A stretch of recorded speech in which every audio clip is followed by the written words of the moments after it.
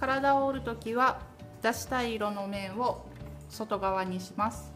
まず半分に折って三角形を作っていきます。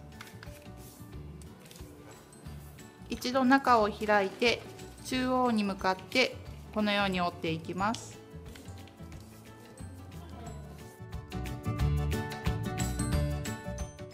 今折った反対側も同じように中央に向かって折っていきます。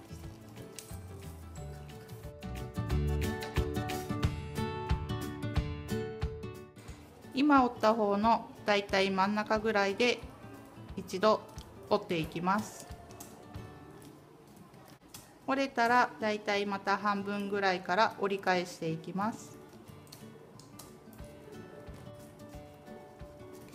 今折った部分をまた半分ぐらい折り返していきます。反対側にしてこちらもだいたいこのここの半分ぐらいで折っていきます。